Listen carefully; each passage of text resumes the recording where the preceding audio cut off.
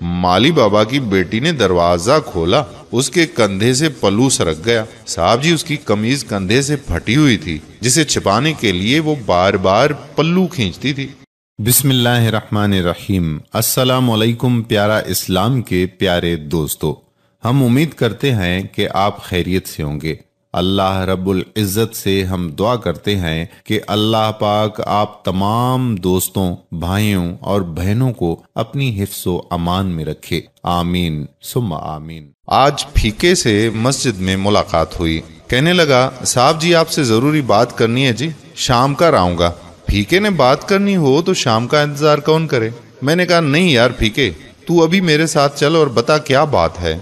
घर आकर मैंने बख्शू से चाय लाने को कहा। और फिर फीके से मुखातिब हुआ और कहा कि हाँ भाई फीके, अब बता बात क्या है? किस लिए इतना बेचैन है? फीका कहने लगा, दो दिन रह गए थे कार आने में साहब जी। बेगम साहबा का ड्राइवर छुट्टी पर था।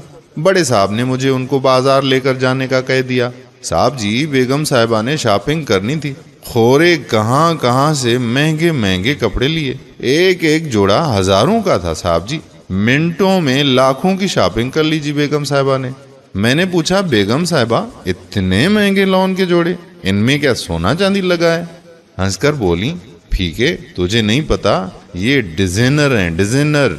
एक तो फीके की मासूम शक्ल और ऊपर से डिज़ाइनर को डिज़ाइनर कहने का अंदाज मुझे उस पर बेसाख्ता प्यार आ गया। फीका अब जाने क्या बताने वाला था। जब से मेरे भतीजे मुदस्सिर का एक्सीडेंट हुआ था, मैंने फीके को अपने भाई के घर मुदस्सिर के पास भेज दिया था। दो तीन हफ़्ते के बाद फीका चंद एक रोज के लिए घर आ जाया करता था। मैंने पूछा, फीके, आखिर तुझे कपड़ों में क्या दिलचस्पी हो गई? कहने लगा, साहब जी, मुझे क्या दिलचस्पी होनी जी? मैं तो बस हैरान रह गया एक एक लोन का जोड़ा हज़ारों का खरीदा बेगम साहबा ने। साहब जी, आखिर था तो लोन का जोड़ा ही ना। सोचता हूँ मेरी कार वाली का भी दिल करता होगा, डिज़ाइनर जोड़ा पहनने का। हाँ जी? हो क्यों साहब जी? दिल में फांस सी चुप गई। उसने तो कभी फरमाइश ही नहीं की। सादे से लॉन के तीन जोड़ों में सारियाँ गर्मियाँ लगा लेती है। मैंने कर आकर पूछा, तेरा नहीं दिल करता सोने सोने जोड़े लेने का? ये जो डिज़ाइनर होते हैं। मेरे पूछने पर हंसकर कहने लगी, गुड्डे के अबा, लॉन जू जू धुलकर घिसती है ना, पिंडे को सुख देती है। मुझे ऐसी फजूल सोचे नहीं आती। मैंने कहा, फिर भी बता तो सही, अगर मैं ला कर दूँ तो पहनेगी। कहने लगी, गुड्डे के अब्बा, आखिर को तो एक को चिट्टा जोड़ा ही पहनना है। वो भी खोरे नसीब होना है कि नहीं? इस खाकी पिंडे को कीड़ों नहीं खाना है ना? डिज़ाइनर पहनने वालों के पिंडे को क्या कीड़े नहीं खाएँगे? तुझे क्या हो गया है गुड्डे के अब्बा? तू जानता है मुझे, इन बातों से कोई फ़र्क नहीं पड़ता। तू मेरे लिए एक डिज़ाइनर जोड़ा लाने के बजाय चार छह जोड़े लेकर गरीबों में बांट दे। मैं खुदा को क्या मुँह दिखाऊँगी?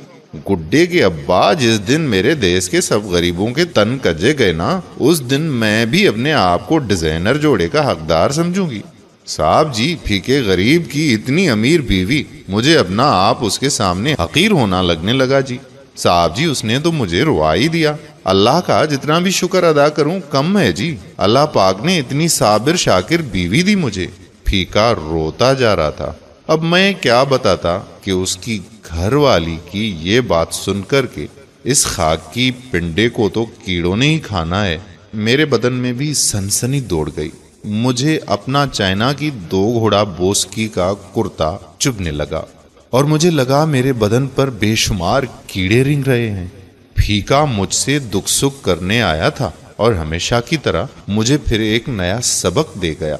वो अभी भी रो रहा था। मैंने दिलासा दिया और कंधा थपक कर कहा हाँ फीके, तू ठीक कहता है। नेक और किनात पसंद बीवी अल्लाह की बड़ी नेमत होती है। यार, तुझे तो खुश होना चाहिए। रोता क्यों है झलिया?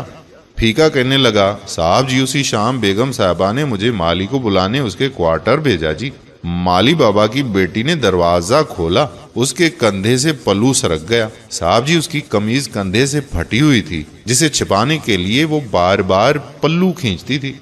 फीका धाड़े मारकर रो रहा था। मुझे उसके रोने की वजह अच्छी तरह मालूम हो गई थी। साहब जी, मैंने अपनी कार वाली को बताया तो उसने उसी वक्त लॉन के दो कुर्ते बाबा की बेटी के लिए सी कर दिए। हम सो ही नहीं सके साहब जी।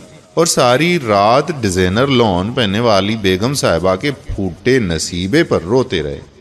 मैंने उसी शाम बख्शू से कहकर अपने सारे बोसकी के, कुर्ते, गाँव के गरीब किसानों को भिजवा दिए। फीका वापस शहर चला गया। लेकिन उस दिन से जब भी उसकी बात याद आती है, यकीन करें मेरे बदन पर कीड़े रींगने लगते हैं।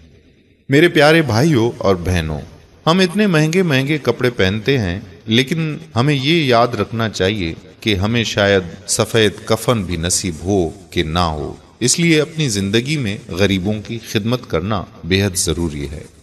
अगर आपको हमारी आज की ये वीडियो पसंद आई है तो अपने दोस्तों के साथ भी ज़रूर शेयर कीजिए। अगर आपने अभी तक हमारा पेज प्यारा इस्लाम लाइक नहीं किया तो लाइक करके फॉलो कर दीजिए और साथ साथ हमारे यूट्यूब चैनल प्यारा इस्लाम को भी सब्सक्राइब कर दीजिए, ताकि हम ऐसी मजीद दिलचस्प वीडियोस आप तक पहुंचाते रहें। जजाकल्ला खैरा। असलकम वरहमतुल्लाहि वबरकातुहू।